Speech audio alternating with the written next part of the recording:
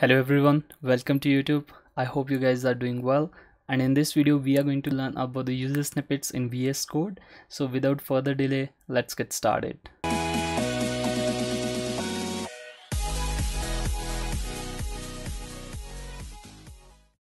So you must be wondering what is user snippets. So in VS Code, you would have noticed that when you start typing any code, for example, when I start typing SWIT, that is a switch statement, you see a lots of code hint here. So you can just select any of the code hint here and some code get auto imported here. This code snippet is called code snippet. So basically this is some reusable code uh, which you want to use in your program. So but the code snippets which you can import by default they are limited in VS Code but you are not limited to use the built-in code snippets so you can just define your own code snippets in VS Code. So we're gonna see this thing in this video. I'll just remove this code from here and in order to define your own user snippets you just need to go at the bottom left corner and select this gear icon called manage and from here you need to go on user snippets. And you will see this dialog here. In this dialog you need to click on new global snippet file. And when you click on this it will prompt you to enter a name. So you can just give it any name. Basically your all the user snippets code will be saved in this file. So i'll call this a js snippet.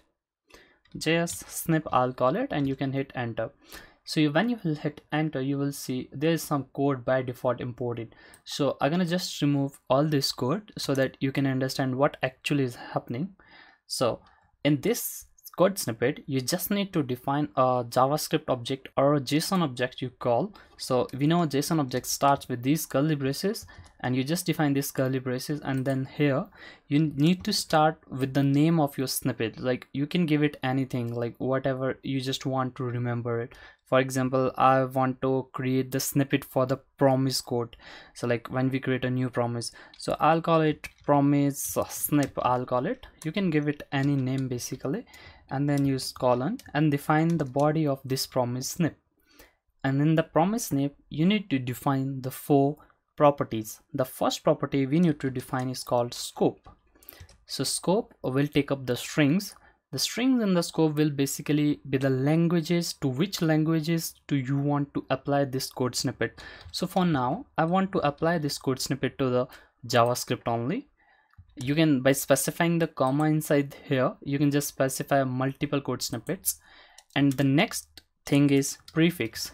So prefix is what when you will start typing that code will pop up so prefix we want to give here. So when we uh, when i start typing pro so this should give me the promise snippet. And the next property here is called a body. A body will basically be an array where the first argument to the array will be the code you want to import into your file when you will use this prefix here in your code. So i just want to import new and then promise. And this promise will here take uh you know it takes two parameter called resolve and reject. And if you are not aware about the promise just go and watch my last video about the promises.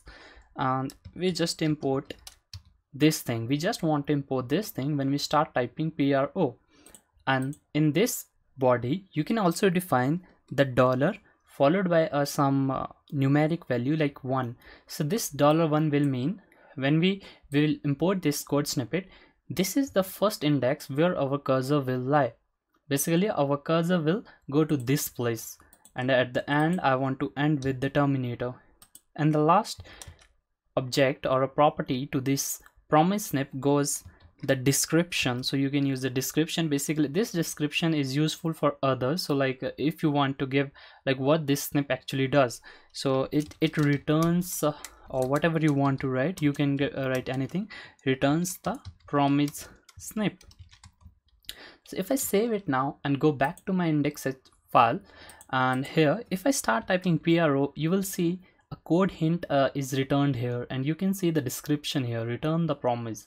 So if i click this this code snippet is inserted here and by default you can see my cursor automatically pointed at the dollar one here so this is how you can use your own snippets. So if you want to define your uh, other snippets in the same file you can just come here and use a comma here and specify uh, another object. So I'll just copy this object again and paste it here and change the content actually here because the name cannot be same. So I'll just change the name. So the snip I want to use here is now for the fetch API so fetch API is basically used to call the API we will learn more about the fetch API in the future video but basically if you are aware about the API the fetch API helps us to call any specific API and grab the data from there. So we want to use it for a javascript and the snip uh, we want to prefix. Basically when we start with the api this should this code should come up. And in the body we want to use uh, some code. So what i will do i'll just go to a back to our code here. I'll, I'll type some code here and then copy this code to the body here because it's easy to type this code here the fetch.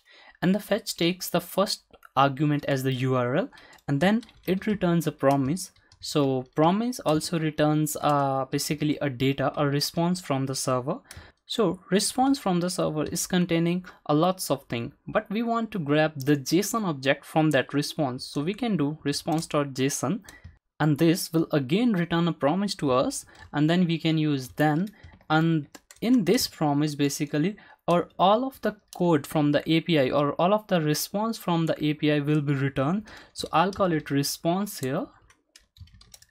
And basically you can just define this function here. So once the api has returned something this function will execute. And in this function i just want to log to the console whatever the response from the api is.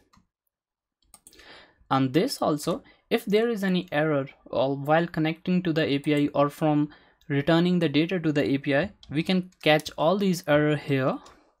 And here it will also take the callback function. This the error will be returned here and I can just create the body here. And then log the error to the console here. So basically uh, when we have saved this code like it's giving error because this is not actually the code to use. So I'll just cut the code from here and go to a snippet and the paste the code here. So actually we need to write the string in a single line. So I'll just zoom it out and uh, write this whole snippet into a single line now so yeah i have written the whole snippet in a single line and in the description returns the api snip i'll call it or returns the fetch api snip. If i save it now and go to our code if i now start typing api here you will see this code hint return the fetch api if i click this this whole code is actually auto imported here so you see the whole code snippet is imported here, but our main function resides in this function here. So I'll just hit enter here because this function will be executed after the API call is made. So for this tutorial, I'm just calling a open source API which returns the list of countries names basically. So I will just pass the URL here and save the program.